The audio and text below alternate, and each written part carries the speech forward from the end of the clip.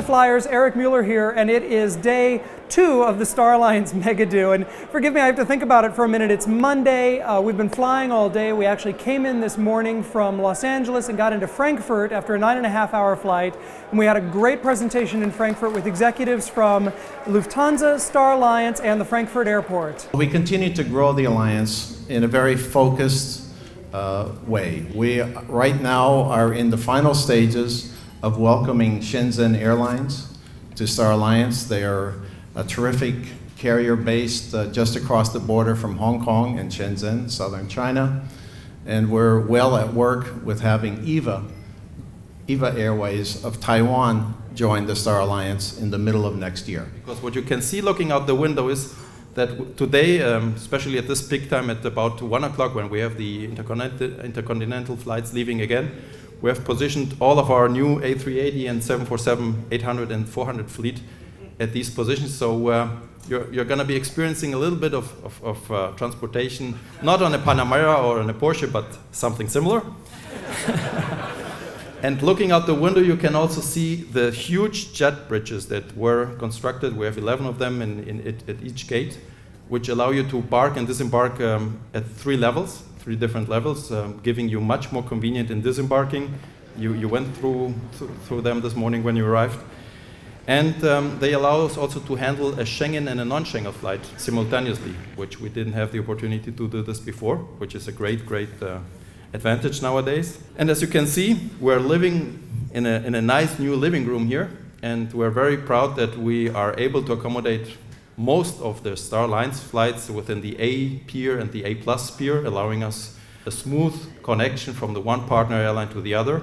All right, and after that, we jumped right onto our flight down here to Zurich. It was a quick 55 minute Lufthansa flight from Frankfurt, an easy flight, and we got here to the Park Hyatt Zurich, where we found out that the Zurich Tourist Board and the Park Hyatt had organized a walking tour of the city, so we can get a chance to look around a little bit. We will visit the old town, more or less, uh, right on this side, when you take a look down there, you see already the Lake of Zurich. Usual, we see also the Alps, but not today. So that's why we take this way and go to the old town. Now, after the walking tour, there wasn't a lot of time to relax because we went right into an incredible reception organized here by the Park Hyatt. And this was a Masters of Food and Wine event, and it featured all local food. So we have local Swiss cheeses, local Swiss meats as well. We also have some incredible Swiss wines and some really interesting single malt whiskeys. So a lot of interesting stuff. And while we were there, we also met with Frank Widmer, who is the executive chef here at the Park Hyatt Zurich, and we got to spend a few minutes with him talking about how they put these events together and how they source a lot of local ingredients. And how would you describe tonight's uh, menu? Uh, to make it simple, I mean, you cannot eat more Swiss than that. I mean, it's like they said in other Hyatts before, uh, it's going to be cured meat, it's going to be cheese. We even have local Swiss single malt, which I'm sure a lot of people haven't tried.